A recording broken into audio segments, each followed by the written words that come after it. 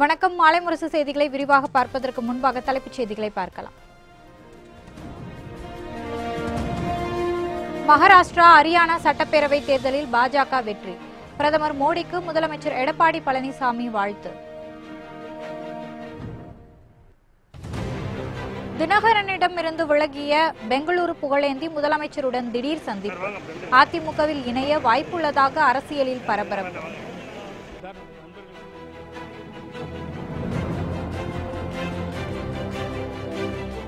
பல்வேறு கோரிக்கைகளை வலியுறுத்தி தமிழகம் முழுவதும் அரசு மருத்துவர்கள் போராட்டம். முதலமைச்சர் பழனிசாமி அழைத்து பேசி தீர்வு காண வேண்டும் என ஸ்டாலின் வலியுறுத்தல். அமித்ஷாவின் அதிரடி நடவடிக்கையால் ஹரியானாவில் மீண்டும் பாஜக ஆட்சி அமைப்பது உறுதி.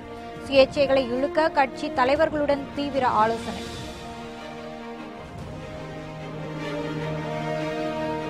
ராதாபுரம் தொகுதி மறு வாக்கு எண்ணிக்கை தொடர்பாக அதிமுக எம்எல்ஏ இன்பதுரை தொடர்ந்த வழக்கு. முடிவை வெளியிட நவம்பர் பதிமூன்று வரை தடையை நீட்டித்து உச்சநீதிமன்றம் உத்தரவு.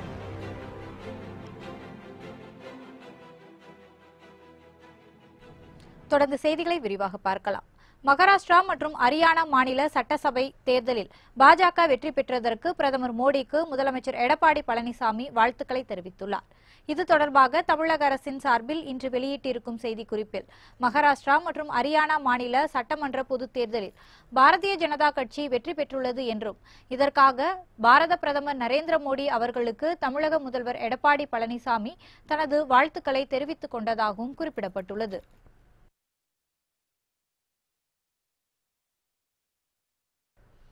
மக்களின் நம்பிக்கையை காப்பாற்றும் வகையில் தொடர்ந்து செயல்படுவோம் என நாங்குநேரி எம்எல்ஏ ரெட்டியார்பட்டி நாராயணன் தெரிவித்துள்ளார்.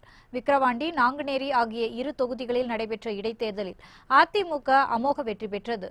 இதனை அடுத்து நாங்குநேரியில் வெற்றி பெற்ற ரெட்டியார்பட்டி நாராயணனும் விக்கிரவாண்டி தொகுதியில் வெற்றி பெற்ற முத்தமிழ் செல்வனும் சேலத்தில் தமிழக முதலமைச்சர் எடப்பாடி பழனிசாமியை நேரில் சந்தித்து வாழ்த்து பெற்றனர். அப்போது அமைச்சர்கள் ராஜலட்சுமி சண்முகம் உள்ளிட்டோர் உடன் இருந்தனர். தொடர்ந்து செய்தியாளர்களுக்கு பேட்டியளித்த எம்எல்ஏ நாராயணன் தங்கள் மீதான மக்களின் நம்பிக்கையை காப்பாற்ற தொடர்ந்து செயல்படுவோம் என உறுதியளித்தார். ஒரு தலைவர் கூட முதலமைச்சரையும் துணை முதலமைச்சரும் அணுக வேண்டிய ஒரு நல்ல மாண்புகள் தொண்டர்களிடத்தில் பெருமதிப்பு மக்களிடத்தில் ரொம்ப ரீச் ஆன விஷயங்கள்லாம் மக்களிடத்தில் வந்து திட்டங்களை எடுத்து சொல்லும்போது எடப்பாடியார் அப்படிங்கிற ஒரு நிலையை ரொம்ப அற்புதமாக ஏற்கனவே காங்கிரஸ் போன தடவை முப்பத்தி ஏழாயிரம் ஓட்டு வித்தியாசத்தில் பாராளுமன்ற இடத்துல பின்தங்கி இருந்த இடத்துல அதிமுகவுக்கு இந்த தடவை அமோகம் வாக்களித்திருந்தால் ஆளுகின்ற ஆட்சியினுடைய நம்பிக்கை மக்களுக்கு பிறந்தது. மருத்துவர்கள் போராட்ட முறையை கைவிட்டு முதலமைச்சருடன் பேச்சுவார்த்தை நடத்தி தங்களது நியாயமான கோரிக்கைகளுக்கு தீர்வு காண முயற்சி செய்ய வேண்டும் என திமுக தலைவர் மு ஸ்டாலின் வலியுறுத்தியுள்ளார். இது தொடர்பாக மு ஸ்டாலின் வெளியிட்டுள்ள அறிக்கையில் அரசு மருத்துவர்களுக்கு சம்பள உயர்வு வழங்கக்கூடிய அரசாணை எண் முன்னூற்று ஐம்பத்து நான்கில் திருத்தம் செய்ய வேண்டும் என்பன உள்ளிட்ட நான்கு முக்கிய கோரிக்கைகளை அரசு மருத்துவர்கள் முன்வைத்து போராட்ட களத்தில் நிற்பதாக தெரிவித்துள்ளார். இந்த கோரிக்கைகளை எழுத்துப்பூர்வமாக அரசிடம் முன்கூட்டியே கொடுத்தும் இதுநாள் வரை மருத்துவர்களை அழைத்து பேசி இந்த போராட்டத்தை தடுக்க முடியாத அரசாக அதிமுக அரசு விளங்குகிறது என குற்றம் சாட்டியுள்ளார். அரசு மருத்துவமனைகளை நாடி வரும் மக்களுக்கும் அங்கு சிகிச்சை பெற்று வரும் உள்நோயாளிகளுக்கும் உயிர் நாடி மருத்துவர்கள் என்பதை முதலமைச்சர் உணர்ந்து போராடும் அரசு மருத்துவர்களை உடனடியாக அழைத்து பேச வேண்டும் என்று கேட்டுக்கொண்டுள்ளார். உயிர்காக்கும் பணியில் இருக்கும் மருத்துவர்கள் வேலை செய்ய மாட்டோம் என்ற போராட்ட முறையை கைவிட்டு முதலமைச்சருடன் பேச்சுவார்த்தை நடத்தி தங்களது நியாயமான கோரிக்கைகளுக்கு தீர்வு காண முயற்சி செய்ய வேண்டும் என்றும் வலியுறுத்தியுள்ளார்.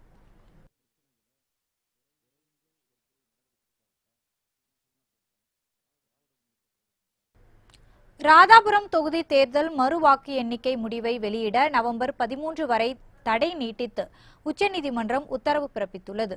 நெல்லை மாவட்டம் ராதாபுரம் தொகுதியில் கடந்த இரண்டாயிரத்தி பதினாறாம் ஆண்டு சட்டசபை தேர்தல் நடைபெற்றது. அப்போது வாக்கு எண்ணிக்கையில் முறைகேடு நடைபெற்றதாக கூறி தேர்தலில் தோல்வியடைந்த திமுக வேட்பாளர் அப்பாவு சென்னை உயர்நீதிமன்றத்தில் வழக்கு தொடர்ந்திருந்தார். இதனை விசாரித்த நீதிமன்றம் தபால் வாக்குகள் மற்றும் கடைசி மூன்று சுற்று வாக்குகளை மறுபடியும் என்ன வேண்டும் என உத்தரவிட்டதை அடுத்து கடந்த மூன்றாம் தேதி ராதாபுரம் சட்டசபை தொகுதிக்கான மறு வாக்கு எண்ணிக்கை நடைபெற்றது. இதனிடையே மறு வாக்கு எண்ணிக்கை தொடர்பான உயர்நீதிமன்ற உத்தரவை எதிர்த்து அதிமுக எம்எல்ஏ இன்பதுரை தரப்பில் உச்சநீதிமன்றத்தில் மனு தாக்கல் செய்யப்பட்டது. இதனை விசாரித்த நீதிமன்றம் மறுவாக்கு எண்ணிக்கை முடிவை இருபத்தி மூன்றாம் தேதி வரை வெளியிட இடைக்கால தடை விதித்து உத்தரவிட்டது. இந்த நிலையில் இந்த வழக்கு மீண்டும் விசாரணைக்கு வந்தபோது ராதாபுரம் தொகுதி தேர்தல் மறுவாக்கு எண்ணிக்கை முடிவை வெளியிட நவம்பர் பதிமூன்று வரை தடை நீட்டித்து உச்சநீதிமன்றம் உத்தரவு பிறப்பித்துள்ளது.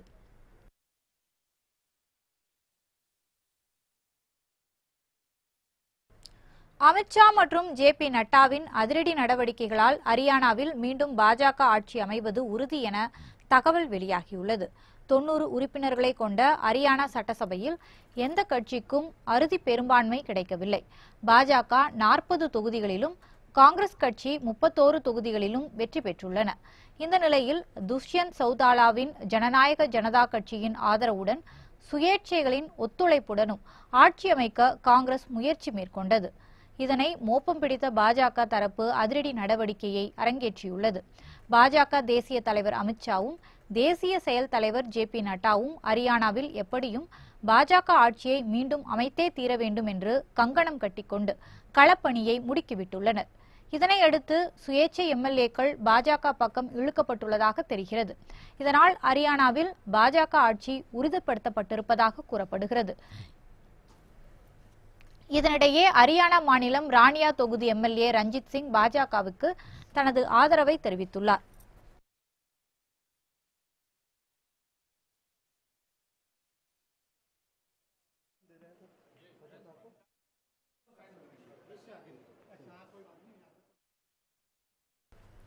டெல்லியில் காங்கிரஸ் கட்சியின் தற்காலிக தலைவர் சோனியா காந்தி தலைமையில் அக்கட்சியின் உயர்மட்ட குழு கூட்டம் நடைபெற்று வருகிறது. மகாராஷ்டிரா மற்றும் ஹரியானா மாநில சட்டமன்ற தேர்தல் முடிவுகள். நேற்று வெளியான நிலையில் காங்கிரஸ் கட்சியின் உயர்மட்ட குழு கூட்டம் அதன் தற்காலிக தலைவர் சோனியா காந்தி தலைமையில் நடைபெற்று வருகிறது.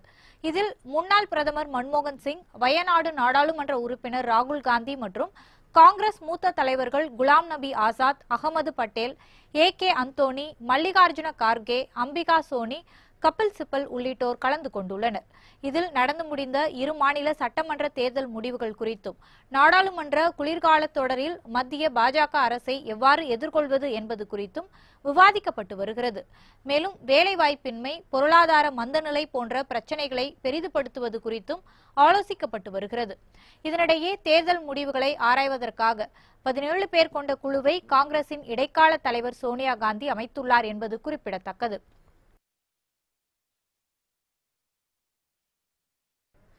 அகஸ்டா வெஸ்ட்லேண்ட் ஹெலிகாப்டர் ஊழல் வழக்கில் கைது செய்யப்பட்ட இடைத்தரகர் தொழிலதிபர் ரத்துல் பூரியின் நீதிமன்ற காவலை நவம்பர் இரண்டாம் தேதி வரை நீட்டித்து டெல்லி சிறப்பு நீதிமன்றம் உத்தரவு பிறப்பித்துள்ளது. காங்கிரஸ் தலைமையிலான ஆட்சியில் இத்தாலியை சேர்ந்த அகஸ்டா வெஸ்ட்லேண்ட் நிறுவனத்திடம் இருந்து அதிநவீன ஹெலிகாப்டர்களை வாங்கியதில் ஊழல் நடைபெற்றதாக சிபிஐ மற்றும் அமலாக்கத்துறை குற்றம் சாட்டியது. இதில் தொழிலதிபரும் காங்கிரஸ் கட்சியை சேர்ந்த மத்திய பிரதேச முதல்வர் கமல்நாத்தின் மருமகனுமான ரத்துல் பூரி தனது நிறுவனங்களின் மூலம் அகஸ்டா வெஸ்ட்லேண்ட் நிறுவனத்திடம் இருந்து சட்டவிரோத பணி பண பரிமாற்றம் நடவடிக்கைகளில் ஈடுபட்டதாக சிபிஐ மற்றும் அமலாக்கத்துறை குற்றம் சாட்டியது. இந்த நிலையில் அகஸ்டா வெஸ்ட்லேண்ட் ஹெலிகாப்டர் ஊழல் வழக்கில் இடைத்தரகராக செயல்பட்ட வழக்கில் ரத்துல் பூரி கைது செய்யப்பட்டு சிறையில் அடைக்கப்பட்டுள்ளார். மேலும் இந்த வழக்கின் விசாரணை டெல்லி சிறப்பு நீதிமன்றத்தில் நடைபெற்று வருகிறது. இந்த நிலையில் இந்த வழக்கின் விசாரணை இன்று மீண்டும் விசாரணைக்கு வந்தது. அப்போது சிபிஐ மற்றும் அமலாக்கத்துறை குற்றம் சாட்டியது. இந்த நிலையில் தொழிலதிபர் ரத்துல் பூரியின் நீதிமன்ற காவலை நவம்பர் இரண்டாம் தேதி வரை நீட்டித்து டெல்லி சிறப்பு நீதிமன்றம் உத்தரவிட்டுள்ளது.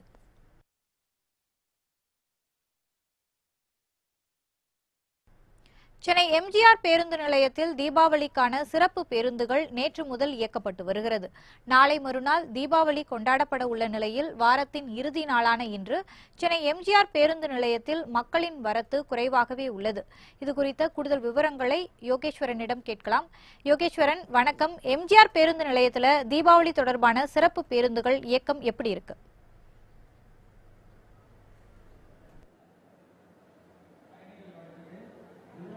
மலதி சென்னையிலிருந்து வெளியூர்களுக்கு பயணிப்பதற்காக அதாவது தீபாவளிக்காக சென்னையிலிருந்து வெளியூர்களுக்கு ம- பொதுமக்கள் பயணிப்பதற்காக தற்காலிக பேருந்துகள் தயார் நிலையில் உள்ளது. தற்போது நாம் இருக்கக்கூடிய இந்த இடம் சென்னை எம்ஜிஆர் பேருந்து நிலையம். பலதரப்பட்ட மக்கள் இந்த இடங்களில்தான் அவர்களுடைய சொந்த ஊர்களுக்கு செல்வார்கள். நாளை மறுதினம் அதாவது ஞாயிற்றுக்கிழமை அன்று தீபாவளி பண்டிகை வெகு விமர்சையாக கொண்டாடப்பட உள்ள நிலையில் சென்னையில் வேலை பார்ப்பவர்கள் மட்டுமின்றி படிக்கக்கூடிய மாணவர்கள் தங்களுடைய சொந்த ஊர்களில் தீபாவளி பண்டிகையை கொண்டாட வேண்டும் என்று நேற்றைய தி- மு- நேற்றைய தினம் முதல் சிறப்பு பேருந்துகள் மூலமாக அவரவர்கள் ஊர்களுக்கு சென்று கொண்டிருக்கிறார்கள். இருப்பினும் சென்னையில் ஆறு தற்காலிக முனையங்கள் அமைக்கப்பட்டு அந்தந்த இடங்களிலிருந்து சிறப்பு பேருந்துகள் இயக்கப்பட்டு வருகிறது. சென்னை எம்ஜிஆர் பேருந்து நிலையம் கே கே நகர் பேருந்து நிலையம் தாம்பரம் தாம்பரம் சானட்டோரியம் மாதாவரம் பூந்தமல்லி உள்ளிட்ட ஆறு இடங்களில் தற்காலிக பேருந்து நிலையங்கள் அமைக்கப்பட்டு அந்தந்த ஊர்களுக்கு செல்ல வேண்டிய பேருந்துகள் அங்கிருந்து இயக்கப்பட்டு வருகிறது.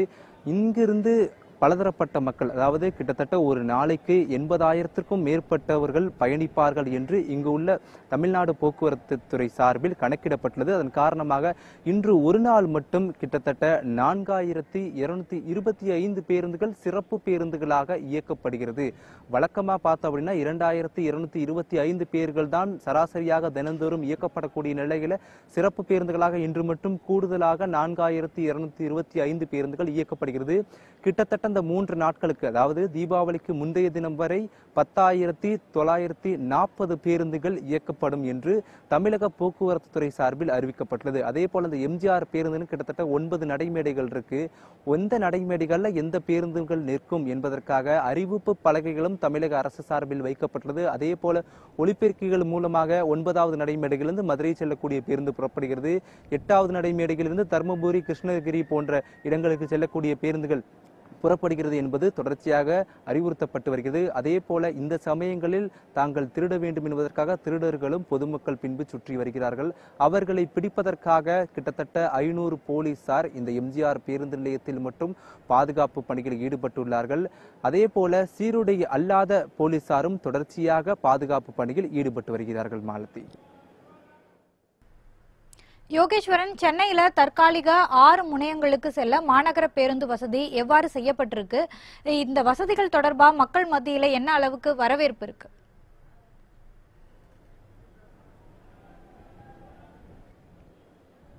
நிச்சயமா மாலதி பொதுவா இந்த மாதிரி தீபாவளி பண்டிகைக்கு சொந்த ஊர்களுக்கு போகும்போது கிட்டத்தட்ட ஒரு நான்கு நாட்களுக்கு மேலனாச்சும் விடுமுறை எடுத்துட்டு போயிட்டு வருவாங்க. தங்களுடைய சொந்த வாகனங்களை நிறுத்துவதற்கு போதிய இடம் இருக்காது. ஏன்னா கிட்டத்தட்ட ஒரு நாளைக்கு எண்பதாயிரத்திற்கும் மேற்பட்ட பொதுமக்கள் போறாங்கன்னா சொந்த வாகனங்களில் வர முடியாது. அதிக நேரம் இங்கு நிறுத்துவதும் முடியாது. இருக்கக்கூடிய சூழ்நிலைகளை மாநகர பேருந்துகளை இது போன்ற விழா காலங்களில் பொதுமக்கள் பெரிதும் பயன்படுத்துவார்கள். இதன் காரணமாக நேற்றைய தினம் முதல் இருபத்தி நான்கு மணி நேரமும் முன்னூத்தி பத்து சிறப்பு பேருந்துகள் மாநகர பேருந்துகளாக இயக்கப்பட்டு வருகிறது. எங்கிருந்து அப்படின்னா சென்னை சென்ட்ரல்ல இருந்து எம்ஜிஆர் பேருந்து நிலையம் மடக்கூடியவர்கள் தாம்பரம் சானட்டோரியம் போறக்கூடியவர்கள் அனைவருமே இருபத்தி நான்கு மணி நேரமும் இந்த மாநகர பேருந்துகள் செயல்படும் என்று சொல்லப்பட்டுள்ளது.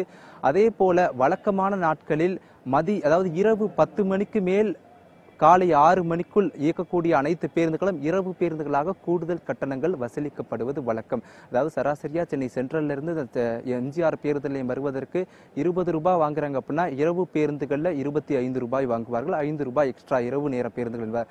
ஆனால் இந்த பண்டிகை காலத்தில் மற்றும் அந்த அது போன்ற கட்டணங்கள் கிடையாது. இருபத்தி நான்கு மணி நேரமும் இந்த முன்னூத்தி பத்து பேருந்துகளும் சராசரியாக சுழற்சி முறையில் இயக்கப்படும். சென்னை எம்ஜிஆர் பேருந்து நிலையத்திற்கு ஒரு நூறு பேருந்துகள் இயக்கப்படுகிறது. ஆனால் பொதுமக்கள் வரத்து இந்த எம்ஜிஆர் பேருந்துக்கு சற்று அதிகமாக இருக்கு அப்படின்னா கூடுதலாக நூத்தி ஐம்பது பேருந்துகள் வரை இயக்கவும் தயார் நிலையில் பேருந்துகள் நிறுத்தி வைக்கப்பட்டுள்ளது. அதே போல இந்த இடங்களிலிருந்து ஆறு முனையங்களுக்கு செல்வதற்கு வரக்கூடிய மக்கள் எம்ஜிஆர் பேருந்து நிலையத்தில் தாங்கள் செல்லக்கூடிய ஊர்களுக்கு பேருந்துகள் இருக்குன்னு வருவாங்க. ஆனால் தாம்பரம் சானட்டோரியம் பகுதியிலிருந்து தான் மதுரை திண்டுக்கல் போற வ- வழிகளுக்கு செல்லக்கூடிய பேருந்துகள்லாம் இயக்கப்படுகின்ற சொல்லி இந்த பேருந்து நிலையத்திலிருந்து தாம்பரம் பூந்தமல்லி போன்ற இடங்களுக்கு செல்வதற்கு இங்கிருந்தும் கூடுதலாக மாநகர பேருந்துகள் இயக்கப்படுகிறது. வழக்கமாக இயக்கப்படுகின்ற பேருந்துகளை விட இருபத்தி ஐந்து சதவீத மாநகர பேருந்துகள் கூடுதலாக இயக்கப்படுவதாக அதிகாரிகள் தரப்பில் சொல்லப்படுகிறது மாலத்தி. யோகேஸ்வரன் உங்களுடைய கூடுதல் தகவல்களுக்கு நன்றி. முதலமைச்சர் எடப்பாடி பழனிசாமியை அம்மா மக்கள் முன்னேற்றக் கழகத்தின் முன்னாள் நிர்வாகி புகழேந்தி சந்தித்திருப்பது அரசியல் வட்டாரத்தில் பரபரப்பை ஏற்படுத்தியுள்ளது. சேலத்தில் இன்று முதலமைச்சர் பழனிசாமியை அமமுக முன்னாள் நிர்வாகி புகழேந்தி திடீரென சந்தித்தார். பின்னர் அவர் செய்தியாளர்களிடம் பேசினார். அப்போது முதலமைச்சர் பழனிசாமி தமக்கு முப்பத்து ஐந்து ஆண்டுகால நண்பர் என்றும் இடைத்தேர்தலில் அதிமுக வெற்றி பெற்றதற்கு வாழ்த்துக்களை தெரிவிக்க வந்ததாகவும் கூறினார். இப்போதும் அமமுகவில் இருப்பதாக தெரிவித்த அவர் ஜெயலலிதாவால் பரிணாம வளர்ச்சி அடைந்த அதிமுகவையே சசிகலா விரும்புவார் என மற்றொரு கேள்வி ஒன்றுக்கு பதிலளித்தார். உள்ளாட்சி தேர்தலுக்கு பின்னர் அமமுகவும் டிடிவி தினகரனும் காணாமல் போய்விடுவார்கள் என்றும் அவர் கூறினார். கே சுப்பையா அண்ணனும் சொல்லிவிட்டு தீபாவளி வாழ்த்துக்களை சொல்லி நேற்றைய வெற்றிக்கு அவருக்கு வாழ்த்துக்களை சொல்லி இரண்டு வாழ்த்துக்களையும் நானும் இசுகே சுப்பையா அண்ணனும் சொல்லிவிட்டு சரவணன் உடன் இருந்தார் நமது நண்பர்கள் உடன் இருந்தார்கள். என்னுடைய மாமனார் வீடு சேலம் எல்லோருக்கும் தெரியும். ஆகவே இதை தாண்டி தான் போக வேண்டும். இறங்கி மனசாட்சி என்ற ஒன்று இருக்கிறது. ஆகவே அம்மா இருந்திருந்தால் எவ்வளவு பெரிய வெற்றியை பெற்றிருப்பார்களோ அதே வெற்றியை இந்த முதலமைச்சர் பெற்று தந்திருக்கிறார். ஆகவே நன்றி வரமாமல் அவருக்கு போய் நன்றி ஒரு நன்றியை சொல்லி வந்திருக்கிறேன். இதில் முன்னோட்டம் என்ன இதில் போய் நான் இறஞ்சி நான் இணையிறேன்னு சொன்னால் உங்கள்கிட்ட பிரதர்கிட்ட சொல்லிட்டு நேராக போய் இணைய போகிறேன் அது அப்படிப்பட்ட நேரம் வந்தால் உங்களுக்கு சொல்லுவேன். நான் இப்படி இணையவில்லை அதை பற்றி நாங்கள் பேசவும் இல்லை. கேரள மாநிலத்தில் சட்டவிரோதமாக கட்டப்பட்ட அடுக்குமாடி குடியிருப்பு கட்டிடத்தை இடிக்க விதிக்கப்பட்ட உத்தரவுக்கு இடைக்கால தடை கோரிய வழக்கில் முந்தைய உத்தரவை உறுதி செய்து உச்சநீதிமன்றம் உத்தரவிட்டுள்ளது. கேரள மாநிலம் கொச்சி அருகே மராடு கடற்கரை பகுதியில் தனியார் கட்டுமான நிறுவனம் அடுக்குமாடி குடியிருப்பு ஒன்றை கட்டியுள்ளது. இந்த நிலையில் கடற்கரை பகுதியில் கட்டப்பட்டுள்ள அடுக்குமாடி குடியிருப்பால் சுற்றுச்சூழலுக்கு பெரும் பாதிப்பு ஏற்படுவதாக உச்சநீதிமன்றத்தில் வழக்கு பதிவு செய்யப்பட்டது.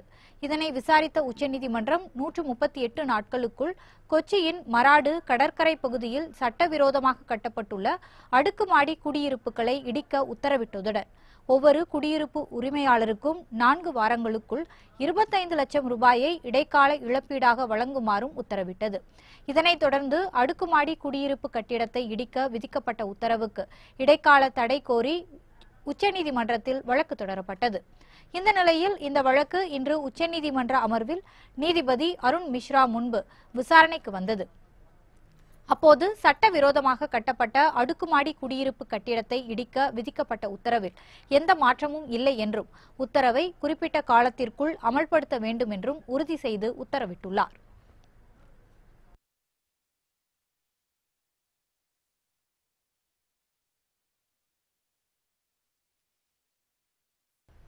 மசூதிகளில் தொழுகை நடத்த இஸ்லாமிய பெண்களுக்கு விலக்களிப்பது சட்டவிரோதம் என அறிவிக்க கோரிய வழக்கில் விளக்கம் கேட்டு மத்திய அரசுக்கு உச்சநீதிமன்றம் நோட்டீஸ் அனுப்ப உத்தரவிட்டுள்ளது. முஸ்லிம் பெண்களை மசூதிக்குள் தொழுகை நடத்த அனுமதிக்காமல் இருப்பதை சட்டவிரோதமாக அறிவிக்க கோரி உச்சநீதிமன்றத்தில் பொதுநலன் மனு தாக்கல் செய்யப்பட்டது. இந்த மனுவில் முஸ்லிம் பெண்கள் மசூதிகளுக்குள் அனுமதிக்காமல் இருப்பது அரசியல் அமைப்புக்கு சட்டவிரோதமானது மற்றும் அரசியல் அமைப்புக்கு விரோதமானது என அறிவிக்க வேண்டும் என வலியுறுத்தப்பட்டது. இந்த மனு இன்று தலைமை நீதிபதி ரஞ்சன் கோகாய் தலைமையிலான அமர்வில் இன்று விசாரணைக்கு எடுத்துக் கொள்ளப்பட்டது. அப்போது இந்த விவகாரம் தொடர்பாக மத்திய அரசிடம் நீதிபதிகள் விளக்கம் கோரி நோட்டீஸ் உத்தரவிட்டனர். இதனையடுத்து இந்த வழக்கு நவம்பர் ஐந்தாம் தேதிக்கு ஒத்திவைக்கப்பட்டது. தீபாவளி நெருங்கும் நேரத்தில் தங்கத்தின் விலை அதிகரித்துள்ளது. மக்களிடையே அதிருப்தியை ஏற்படுத்தியுள்ளது. உலக முதலீட்டாளர்கள் தங்கத்தில் முதலீடு செய்து வருவதால் தங்கத்தின் விலை தொடர்ந்து அதிகரித்து காணப்படுகிறது. இந்த நிலையில் சென்னையில் இன்று ஆபரண தங்கத்தின் விலை சவரனுக்கு நூற்று தொன்னூற்று இரண்டு ரூபாய் அதிகரித்து இருபத்து ஒன்பதாயிரத்து நானூற்று தொன்னூற்று ஆறு ரூபாய்க்கு விற்கப்படுகிறது. தங்கம் கிராம் ஒன்றுக்கு இருபத்து நான்கு ரூபாய் அதிகரித்து மூன்றாயிரத்து அறுநூற்று எண்பத்தி ஏழு ரூபாய்க்கு விற்கப்படுகிறது. இதனிடையே பார்வெள்ளி ஒரு கிலோ தொள்ளாயிரம் ரூபாய் அதிகரித்து நாற்பத்தி ஒன்பதாயிரத்து தொள்ளாயிரம் ரூபாய்க்கு விற்கப்படுகிறது. தீபாவளி பண்டிகை நெருங்கும் நிலையில் தங்கத்தின் விலை அதிகரித்துள்ளது. பொதுமக்கள் மற்றும் நகை பிரியர்களிடையே அதிருப்தியை ஏற்படுத்தியுள்ளது.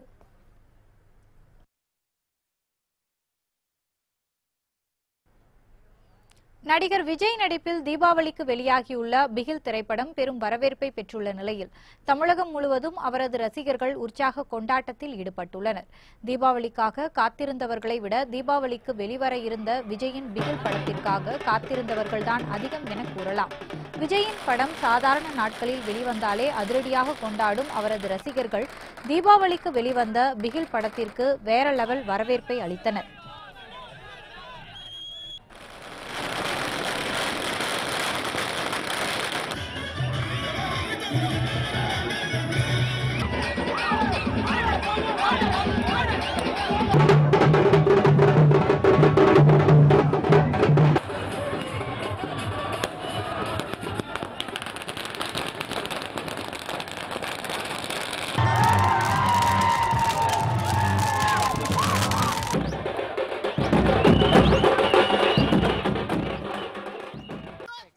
சொன்னதை விட ட்ரிபிள் மடங்கு இருக்குது சார் அதாவது தெரியல அந்த ஒரு எமோஷனல் சீக்வன்ஸாக இருக்கட்டும் மெர்சலில் அந்த வெற்றிமாறன் அந்த சீக்வன்ஸாக இருக்கட்டும் அதை விட இந்த படத்தில் வந்து அந்த எமோஷனல் சீக்வன்ஸு அந்த ராயப்பன் கேரக்டர் அதெல்லாம் ரொம்ப டச் பண்ணிடுச்சு சார் அதாவது மாசுக்கும் மேலே அந்த எமோஷன் இருக்குது பாருங்கள் இப்போ கூட நினச்சா அந்த ராயப்பன் கேரக்டரு அந்த விமன்ஸ்க்கான அந்த கஷ்டப்படுறது படம் ரொம்ப நல்லா இருந்தது. அண்ட் uh, இது வந்து உமன்ஸ்க்கான படம் ஸோ எல்லா பெண்களும் கண்டிப்பாக பார்க்கணும். தளபதி வந்து ரொம்ப நல்லா மெசேஜ் சொல்லியிருக்காரு. அதாவது கல்யாணம் ஆனாலும் லேடிஸ் வந்து அவங்களோட பேஷன் வந்து கண்டினியூ பண்ணணுன்றத எக்ஸ்பிளைன் பண்ணியிருக்காங்க. இந்த படத்தில் வெரி நைஸ் இப்போ தளபதி அந்த ஸ்க்ரீனில் இருக்காருன்றதுனால தளபதிக்கு இம்பார்ட்டன்ஸ் போல அங்கே எல்லாருக்குமே ஈக்குவல் இம்பார்ட்டன்ஸ் இந்த படத்தில் கொடுத்துருக்காங்க. அதுவே ரொம்ப பெரிய விஷயம். பிகாஸ் அவ்வளோ பெரிய ஸ்டார் அவர் அவரை அவரை ஒரு சீ சீனில் வச்சு மற்றவங்களை இம்பார்ட்டண்ட்டாக காட்டுற எஸ்பெஷலி வேம்பு கேரக்டர்லாம் வந்து வேற லெவலில் இருந்துச்சு. நீங்கள் எக்ஸ்பெக்ட் பண்ண மாட்டீங்க அந்த கேரக்டர் அப்படி இருக்கும் அப்படின்னு சொல்லிட்டு. ஸ்டார்டிங்ல எல்லாம் வந்து செமையாக பண்ணியிருந்தாங்க இந்துஜா. அட்லி விஜய் கூட்டணியில் உருவான பிகில் ஹேட்ரிக் ஹிட் அடித்துள்ளதாக ரசிகர்கள் தெரிவித்துள்ளனர்.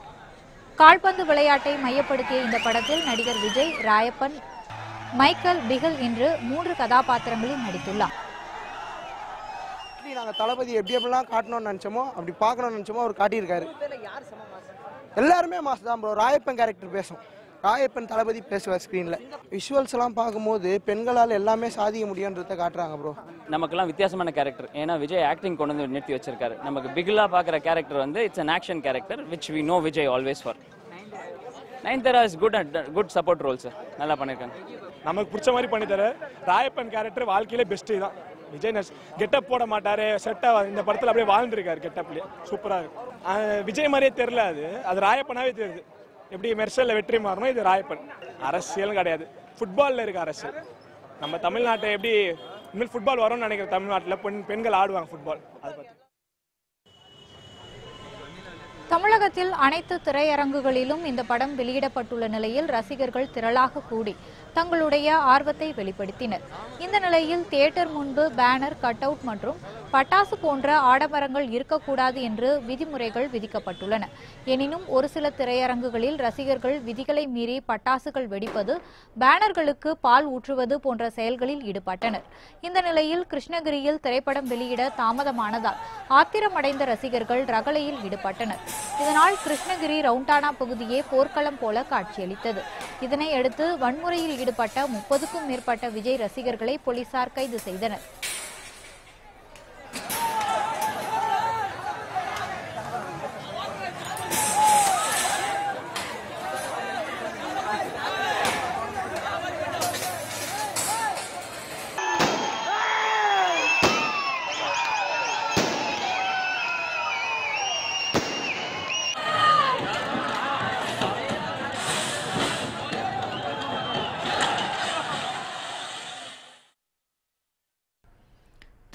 திருவண்ணாமலை மாவட்டம் செங்கம் அருகே மூதாட்டியை ஏமாற்றி நூதன முறையில் எண்பது சவரன் நகை கொள்ளையடிக்கப்பட்ட சம்பவம் பரபரப்பை ஏற்படுத்தியுள்ளது.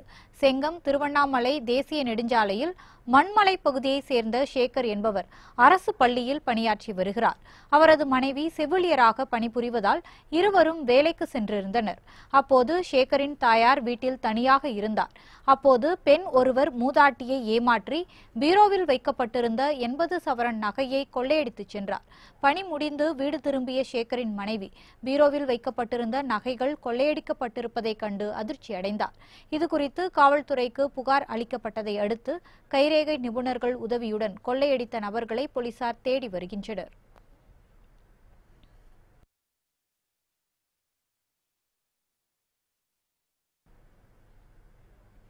உலக நிகழ்வுகளை உண்மைத்தன்மையுடன் உடனுக்குடன் அறிந்து கொள்ள எப்போதும் இணைந்திருங்கள். நமது மாலை முரசு செய்தி தொலைக்காட்சியுடன். வணக்கம்.